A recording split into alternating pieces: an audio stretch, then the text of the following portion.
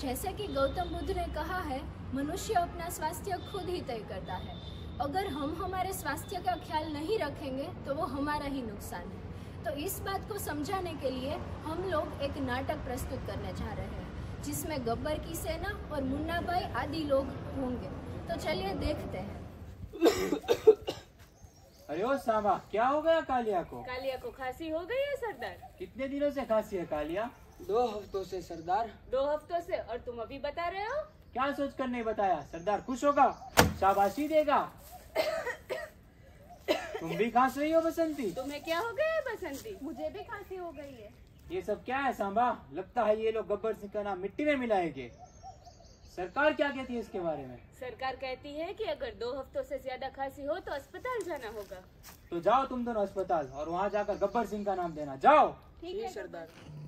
तो गब्बर के कहने पे कालिया रामगढ़ के पीएचसी जो कि होता है प्राइमरी हेल्थ सेंटर जाता है जहाँ डॉक्टर मुन्ना और उनके साथी सर्किट मौजूद है। देखते हैं आगे क्या होता है। अरे भाई रुको जरा। अरे सर्किट आने देना। थैंक यू डॉक्टर बैठ जाओ। कौन हो तुम भाई? कालिया। हाँ तो सुन का लिया टेंशन मत ले। अपन है ना। क्या क्या हो रहा है बता चल। मुझे खांसी हो गई है। आईना खांसी? कितने दिनों से आपको खांसी है? दो हफ्तों से। और क्या क्या हो रहा है? और मुझे बुखार भी आता है शाम के वक्त। आपको कोई पसीना आता है रात को? हाँ रात को पसीना आता है। भाई इसका टीबी का रिपोर्ट करवाना ही पड़ेगा। हाँ कालिया तो सुन टेंशन मत ले। अपन है ना जा जाके टीबी का रिपोर्ट करा ले। ठीक है डॉक्टर। ये ले।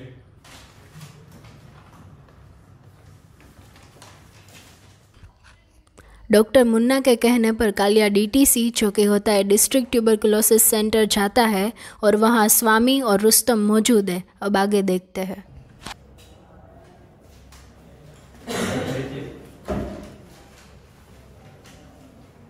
ये डॉक्टर मुन्ना ने दिया है। क्या नाम है आपका? कालिया। कहाँ से हो आप? यही रामगढ़ से। देखिए रिपोर्ट के अनुसार आपको सैंपल देना होगा अपने स्कूटम का। तो सुन रुस्तम इसको दो कंटेनर दे दो स्कूटम कलेक्शन के लिए। दो क्यों? दो देने होंगे अभी और कल सुबह बिना खाए। कल क्यों? दोनों आज ही दे दे तो नहीं चलेगा। नहीं ऐसा नहीं चलता क्योंकि हम कल लेंगे तो उससे हम अच्छे से जाँच कर सकते हैं कि आपको क्या हुआ है इसके लिए। ठीक है डॉक्टर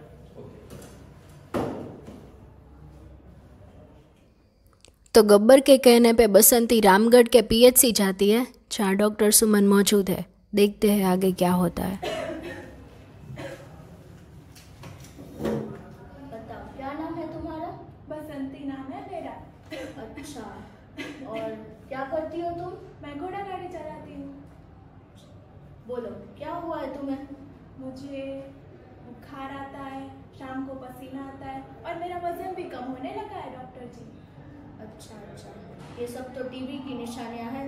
लेकिन हम अब ऐसे ही नहीं कह सकते। तुम्हें कल जाके रिपोर्ट कराना होगा।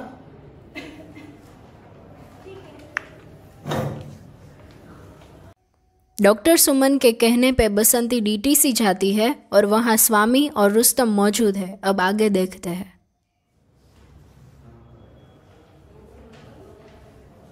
ये मुझे डॉक्टर सुमन ने भेजा है देखिए।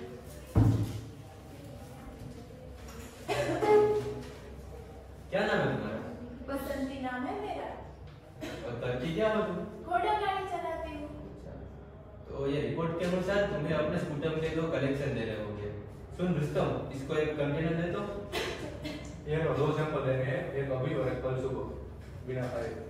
ये रिपोर्ट कब आएगा वो हम तुम्हारे डॉक्टर को भेज देंगे। ठीक है।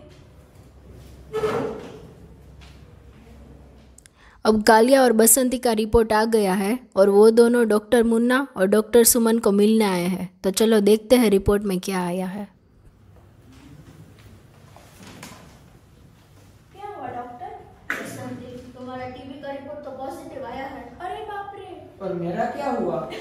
कालिया तेरा भी टीबी का रिपोर्ट पॉजिटिव आया है लेकिन तू टेंशन मत ले। अपन है ना? अब क्या होगा डॉक्टर हमारा? बसंती तुम बिल्कुल चिंता मत करो। ये दवाई है तुम्हें छह महीने तक लेनी है और सब ठीक हो जाएगा। ये लो कालिया ये तुम्हारी दवाई है।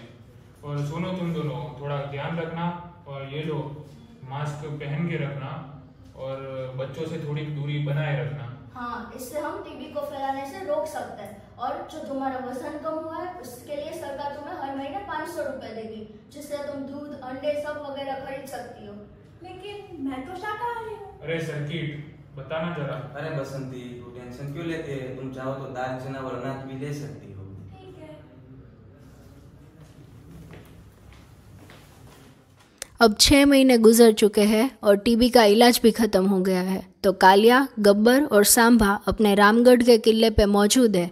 तो चलिए देखते हैं क्या हुआ कालिया के टीबी के इलाज का। कैसा है कालिया अब तुझे?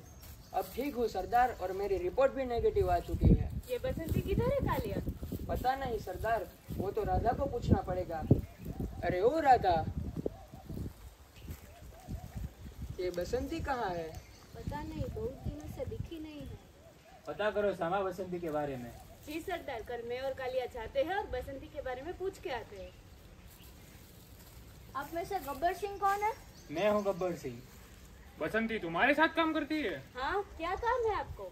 उनका इलाज चल रहा है पर वो अब तक मिलने नहीं आई। अरे बाप रे आप लोग बसंती को लेने आए हैं क्या? लेने नहीं आए हम उनको। बसंती के इलाज के बारे में पूछने आए हम। कहाँ है बसंती? वो तो उसके घर जाके रामलाल को पूछना पड़ेगा। जाओ तुम उनको रामलाल के घर लेके जाओ। तो जैसा कि आप लोगों ने देखा, डॉक्टर सुमन और मुन्ना बसंती को मिलने आए हैं, लेकिन बसंती का कुछ पता नहीं है। तो अब राधा, जो कि बसंती की दोस्त है, वो उसे बसंती के घर ले जा रही है, जहाँ रामलाल घर का काम कर रहा है। चलिए देखते हैं बसंती को क्या हुआ है रामलाल ओ रामलाल अरे राधा तुम यहाँ कैसे ये डॉक्टर साहब है तो बसंती को मिलना है बसंती तो अपने कमरे में है लेकिन लेकिन क्या रामलाल? वो बहुत बीमार है। फिर तो बसंती को मिलना पड़ेगा। बसंती? ओ बसंती। क्या हुआ रामलाल? ये लोग तुमसे मिलने आए हैं। अरे डॉक्टर आप लोग यहाँ? बसंती कैसा है अब तुम्हें? तुम मिलने क्यों नहीं आई दवाई खत्म होने के बाद? इसने दवाई ही नहीं ली है डॉक्टर साहब। माफ़ कीजिए डॉक्टर जी मैं समय से दवाई नहीं ले पाई।